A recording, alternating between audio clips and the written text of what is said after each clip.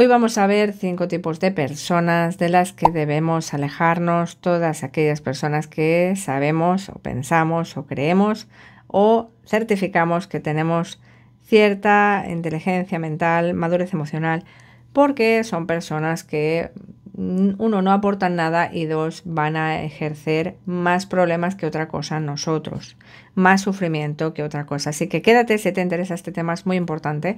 Recuerda que voy a dejar la, persona o la clase más potente para el final, la que considero más interesante. Y mi conclusión personal. Vamos allá. Bien, en primer lugar, eh, hay que huir de las personas deshonestas, de las personas tramposas y manipuladoras. Este tipo de personas, bueno, sabéis que a mí a modo personal no me gustan las etiquetas y siempre voy a tratar de rodear, ¿vale? Para no etiquetar injustamente, porque siempre la etiqueta siempre es injusta, ¿vale? Porque ya te encasilla. Pero en este vídeo permitidme, por favor, ejercer un uso de las etiquetas de manera un poco indiscriminada para referirnos, para que todos, para concretar, ¿vale? Simplemente para que sepamos todos a qué nos estamos refiriendo, ¿vale? Entonces, cuando estamos hablando de personas a las que les gusta o que tienen por costumbre manipular, engañar, eh, les gusta o son de ese tipo, ya no es que les guste, sino que se han acostumbrado a vivir de ese modo y ya no saben vivir de otro modo. Es decir, han hecho de, ese, de esa forma, de ese, de ese rasgo su estilo de vida y manipular y ser deshonesto, bueno, pues es algo ya para ellos normal, lo ven normal. Bien, esto pues genera mucho sufrimiento, mucho problema en el resto de personas. Si tú tienes una persona cercana que es así, sabrás de lo que te estoy hablando. ¿Por qué? Bueno, pues porque ejercen este tipo de función para todos. Cuando más cerca estás, pues cuanto más cerca estás, pues más, más te va a afectar. Y claro, tener una persona así a tu lado, sea tu pareja, sea tu familia o sea algún amigo cercano, pues te va a generar muchos problemas porque eh, no ven la forma o no ven la forma de discriminar si pues oye pues como es mi pareja no lo hago no le hago esto. O como es mi amigo cercano no le hago esto no ellos lo hacen siempre. Manipular eh, pues entorpecer en general Claro, una relación así es muy complicado, porque realmente una relación, estamos hablando de pilares, un pilar fundamental es la confianza. Entonces, si, están manipulando todo el tiempo, si están siendo deshonestos todo el tiempo, esa confianza al final se rompe y la relación con ella. Así que, sea una relación de pareja, sea una relación de amistad, el tema de ser una persona deshonesta, de ser una persona manipuladora, es algo muy dañino, termina con la relación por esto que hemos comentado, por bueno, pues por la confianza y, al final pues las personas salen heridas, así que si es tu caso, encuentras que hay alguien cercano, si es tu caso en el sentido de que si hay alguien a tu alrededor cercano que es así, huye, huye como el viento porque este tipo de personas, sus relaciones son muy complicadas. Bien, después eh, como segundo tipo de personas de las que huir están las típicas personas que eh, pues siempre son de un color, ¿vale? Yo lo, lo digo así, del color negro, ¿vale? Lo ven todo negro, del color de que lo ven todo negro. Son crónicamente negativas, crónicamente pesimistas son personas que se pasan el día quejándose, se pasan el día pues eh, cantando los cuatro vientos lo víctimas que son. Son personas que siempre van a ver la parte negativa, siempre están ahí para incidir en lo peor, siempre está el mal agüero, siempre está... Y estas personas llegan a pensar los demás que dan mala suerte, ¿vale? Porque al final eh, tan mal verlo todo, como que atraes el mal, ¿no? O sea, es decir, a ver, si tú, no es que lo traigas, pero si tú al final lo ves todo negro, eh, tu mente no va a poder observar las oportunidades, lo bueno, porque la vida realmente no es ni buena ni mala, tiene cosas buenas, tiene cosas malas, ¿no? Y es como lo queramos ver, si nos enfocamos en lo positivo todo será maravilloso, si solo vemos lo bonito todo será maravilloso, si nos enfocamos en, en lo negativo, pues todo será horrible. ¿Y qué pasa si solo vemos lo negativo? Pues que lo bonito está ahí, pero, o lo positivo está ahí, pero no lo vemos, porque es, que el foco está completamente en lo negativo. Claro, estas personas, pues eh, la relación con ellos es muy complicada. ¿Cómo lo vas a, a gestionar? Es decir, si tu pareja es así, si tu pareja es un cenizo, una ceniza, que lo ve todo negro, lo ve siempre todo mal, y claro, como le ve todo, lo ve todo mal, le viene todo fatal, sí, parece que atraigan la mala suerte, porque al final, por mucho bueno que les pase, no lo van a ver. Les, les resbala, ¿eh? como la lluvia les resbala. Es imposible, sal por patas, no te mereces esa vida tampoco, no tienes por qué, no tienes ninguna responsabilidad de estar al lado de una persona así.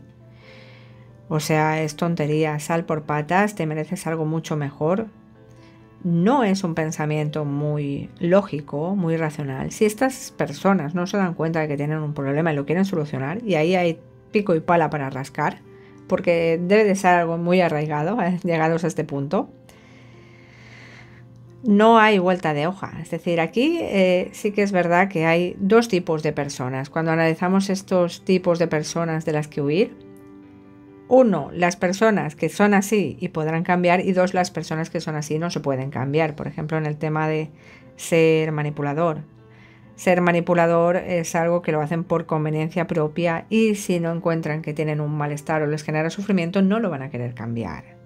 Entonces ahí sí que es verdad que poco hay que rascar. Esas personas son así porque quieren y les gusta y les, les da ventaja y no lo van a poder cambiar por mucho que te prometan. No, yo cambiaré. No, olvídate, no va a cambiar. No va a cambiar. Aléjate. Y las personas que pues son así y llega a generarles un sufrimiento tremendo en su vida hasta el punto que dicen ya no quiero más, voy a cambiar. Que podría ser el caso de una persona extremadamente pesimista o negativa. Ahí sí es posible un cambio porque hay un sufrimiento, genera un sufrimiento, puede ser que genere un sufrimiento extremo. Luego está el otro tipo de personas pesimistas o negativas que parece que les gusta, disfrutan, son masocas. Ahí no vas a poder cambiar. Vete. Porque esa persona no, eh, a ver, el sufrimiento, se acomoda al sufrimiento, no va a cambiar porque le gusta el sufrimiento de su vida. Disfruta de ser la víctima. Claro, entonces ah, es muy importante determinar si esa persona está sufriendo o crees que sufre y si ese sufrimiento es suficientemente potente para que quiera cambiarlo, para que quiera cambiar de ser, de su forma de ser. Si no es así, tienes que huir por patas porque esa persona no va a cambiar, ¿vale? Bien, recuerda suscribirte comentarme. Recuerda que voy a dejarte la mejor para el final. Estamos aquí analizando, debatiendo un poco sobre el tipo de personas que nos podemos encontrar y que sí que es verdad que no van a aportar nada a la relación, bien sea de pareja, bien sea de amistad, que hay que huir corriendo, ¿vale? Hay que establecer un contacto cero fulminante. Bien, otro tipo de personas de las que hay que huir. Aquí sí que es verdad que hago la matización ya desde el principio, hay que huir no hay vuelta de hoja. ¿Por qué? Porque no se dan cuenta de que tienen un problema, no les genera sufrimiento, les genera un beneficio y por tanto no van a cambiar. Las personas que siempre están recibiendo pero que no dan nada a cambio. Este tipo de personas son muy molestas son muy molestas porque eh, parece ser que no tienen empatía, no tienen ninguna empatía por los demás, no se dan cuenta de que siempre están ellos mismos recibiendo y los demás y no les dan nada a cambio, es decir, no son capaces de esa reciprocidad tan necesaria en la pareja, tan necesaria en la amistad. Entonces, ¿de qué nos sirve? Eh, actúan como verdaderos parásitos estas personas. Entonces, realmente, si siempre están recibiendo y nunca son capaces de dar, pues la relación así se hace imposible, porque siempre vas a estar como ofreciendo, como dando, pero nunca, en el momento tú necesitas, nunca, nunca vas a recibir. Son incapaces de dar nada a cambio. La relación se hace imposible, ¿vale? Así que, ¿qué hay que hacer? Pues nada, huir, huir. A veces yo lo sé, muchas, mucha gente me habéis comentado, muchas personas me habéis comentado, Gema, no es posible huir. Oye, pues ya, sí, es verdad, lo entiendo, lo comprendo y lo comparto. En este caso en el que es imposible huir, bien sea porque es familia, bien sea porque es pareja. Entiendo que si es pareja, no es que sea imposible huir, sino que es muy difícil, ¿vale? Lo entiendo así. Imposible no hay nada. Solo que te genera mucha dificultad huir. Debería ser lo suyo, huir. Pero si crees que no puedes o no quieres, lo mejor es establecer el mínimo contacto, ¿vale? Ante la incapacidad personal o situacional de huir, lo mejor es establecer el mínimo contacto, ¿vale? No puedes huir, pues oye, vamos a establecer unas normas básicas de convivencia y de ahí no salimos, es decir, ya está, ¿vale? Por ejemplo, voy a dar un dato importante. En las relaciones de pareja en las que has detectado que tu pareja es así y tendrías que hacer contacto cero y por lo que sea no puede ser, por lo que sea, estoy hablando hijos, económicamente, lo que sea, llegas a la conclusión de que no puede ser, te sientas y en serio, seriamente, con lo que sea, con psicólogos, con abogados, con lo que sea, pero sin huir, establecéis unas normas básicas mínimas de convivencia. A partir de ahí, cada uno que haga su vida y sin embargo estáis juntos, pero no lo estáis, ¿vale? Siempre se puede llegar a un acuerdo, siempre se puede llegar a algo que, que sea posible que no genere tanto sufrimiento, tanto sufrimiento en esa parte, en esa parte en concreto, porque ellos muchas veces no se dan cuenta y si no se dan cuenta no hay sufrimiento. Y si no se puede llegar a ese acuerdo, habría que ver la manera de hacer lo imposible posible e irse, ¿vale? O dar un toque de atención, aunque al final seguro que hemos dado demasiados toques de atención llegados a este punto y ya no se lo creen, porque si avisas de que te vas y nunca te vas, llega un momento que no te van a creer que te vas. Bueno, es súper complicado esto. Si os interesa lo resolvemos en otro vídeo o hablamos de ello en otro vídeo porque resolverlo también va a ser complicado porque cada situación habría que escarbar, analizar y ver todo, todos los detalles y todas las características. Así que voy a seguir. La siguiente persona, tipo de persona, pues que de la que debemos eh, huir por patas. Y esto, esto va muy bien cuando nos planteamos una relación de pareja, ¿vale? Si encontramos en la primera cita todos estos tipos de persona, por favor, de verdad. O sea, escápate. Si estás en una cena, escápate al baño, no vuelvas. No vuelvas. Y si estás en el cine, igual. Y si estás donde sea, da igual. Si tú detectas este tipo de persona, no sé qué estás haciendo todavía con ella o con él. Lárgate. El siguiente tipo de personas son personas con problemas de abusos de sustancias, bueno, o personas con este tipo de problema, porque ahora ya no son solo abuso de sustancias, con problemas de adicción, vamos a dejarlo así. Claro, volvemos a incidir en lo mismo, este tipo de relaciones son súper difíciles, son súper complicadas. ¿eh? Ahí bueno, pues sobre todo en el tema del abuso de sustancias, la persona va a estar, bueno, y en el otro tipo también, lo que pasa es que el otro tipo puede ser que no se haga tan patente, que no sea tan, tan descarado, pero en el tema del abuso de las sustancias vas a tener una persona que solo piensa en una cosa y es en eso. Entonces, sea familia, sea pareja, esa relación va a ser, va, va a estar muy deteriorada. Lárgate, no hay por qué sufrir. Nuevamente volvemos a este, a estos dos tipos de personas. Hoy estas personas es posible que nos quedemos y cambien o no. Pues mira, depende de la persona, nuevamente, su sufrimiento. Si es una persona que lleva mucho tiempo y llega a un punto, es que claro, todo depende de ella. Si esa persona ese sufrimiento ha sido tan extremo que ya se ha dado cuenta, es consciente y quiere cambiar, pero claro, es que el cambio en este tipo de conductas es muy complicado. Hay recaídas, hay historias, no tienes por qué aguantar todo esto. No tienes por qué.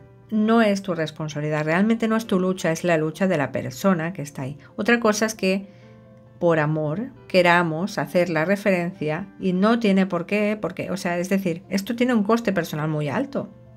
Sí, eres muy egoísta, Gema. No.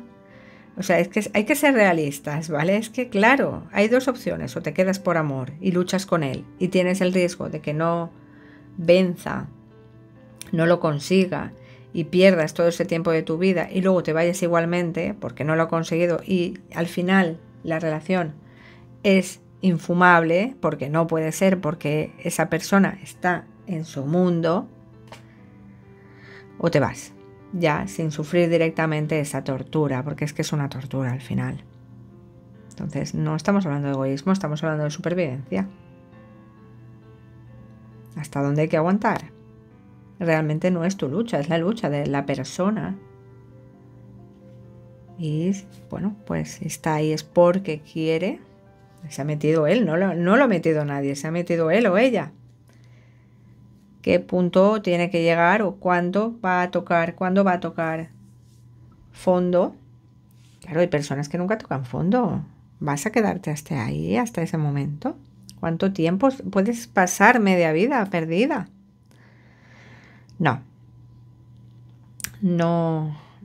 Si analizamos fríamente, no compensa. No compensa. Y luego, bueno, pues pueden decir, ay, es que claro, hay que estar a las buenas y a las maduras. Oye, sí, pero sin faltar nuestro, nuestro bienestar. Es decir, aquí hay que mirar por el bienestar propio también.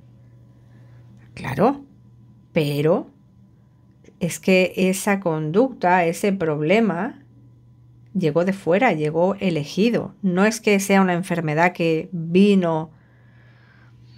Y ahí sí que no hay más vuelta de hoja que asumir nuestro papel. Sí, una enfermedad, oye, yo lo entiendo. Pero claro, en un caso que luego se trata como una enfermedad también, pero esa enfermedad está muy tolerada, consentida por la persona que la padece, no es una enfermedad común, corriente, ¿vale?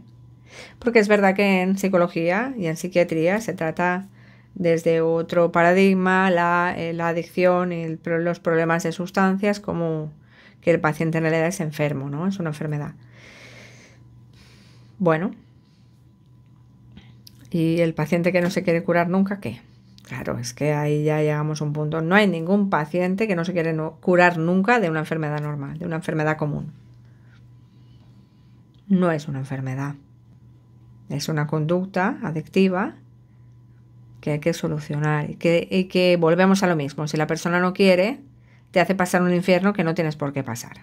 Así que no voy a repetirme más, pasamos a la siguiente. Bien, si has llegado hasta aquí, recuerda suscribirte, comentar aquello que te preocupa. Si es tu caso, encuentras que alguien te está fastidiando o obstaculizando tu marcha, tu vida, tu felicidad. Estoy que yo siempre abierta, lo leo todo, lo comento, lo intento comentar todo. Aprovecha. Y eh, vamos a la más importante. Las personas que ejercen cierta violencia en su vida, que son abusivas, que son esa forma, esa forma de ser conflictiva, ¿vale? Esa forma de ser violenta. Hay que huir. Aquí no hay vuelta de hoja. No hay que analizar si esa persona está sufriendo, si es posible que cambie. No. Hay que huir, ¿vale? Estas personas partimos de la premisa de que no van a cambiar y dos, hay que mirar por nuestra propia supervivencia. Llegados a este punto hay que huir, pero vamos, por patas, rápidamente.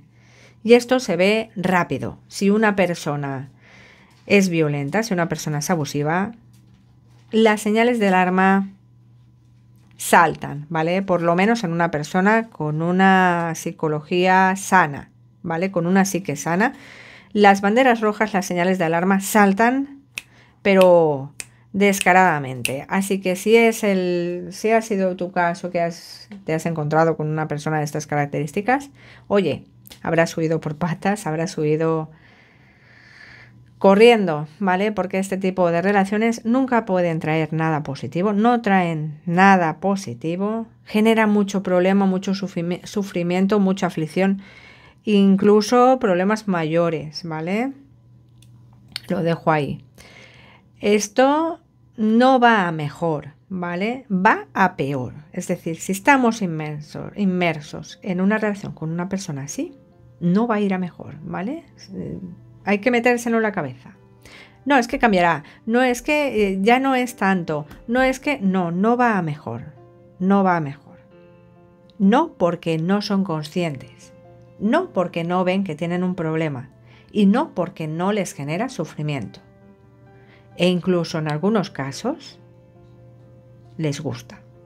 Así que ya lo dejo aquí. Reflexión final, este tipo de personas no no hay que darles muchas oportunidades, hay que ver por uno mismo, hay que ver por la felicidad y seguridad, ¿vale? Muchas veces, muchas personas han hecho el clic cuando han visto el problema en sus hijos y han consentido para ellos, pero no consienten para sus hijos y han hecho el patas, el pies por patas con, por, por sus hijos, no por ellos. No llegues a este punto Haz el pies por patas mucho antes, ¿vale? Lárgate a la primera. Lárgate. Contacto cero. Porque, eh, pues eso, lo que hemos dicho, son relaciones inmensamente complicadas, por no decir imposibles. Generan sufrimiento, generan malestar, generan baja autoestima no, no tenemos por qué pasar por esa tortura, por ese infierno. La vida es bonita, la vida es maravillosa y está ahí fuera para aprovecharla, para vivirla cada día al máximo. Disfrútate, conócete, descúbrete y tienes que estar feliz contigo, con nadie más. Lo demás todo es superfluo, todo es eh, adicional, todo es accesorio, ¿vale? Sobre todo, para estar bien con lo accesorio, sea marido, sea hijos, sea familia, sea esposa, tienes que estar bien contigo. Si no estás bien contigo, no estarás bien con nadie. Así que lo más importante ahora, en este momento, eres tú. Bien, recuerda suscribirte y comentarme. Eh, déjame un comentario, déjame lo que te parezca, lo que te apetezca. Suscríbete. Gracias por llegar hasta aquí y nos vemos pronto.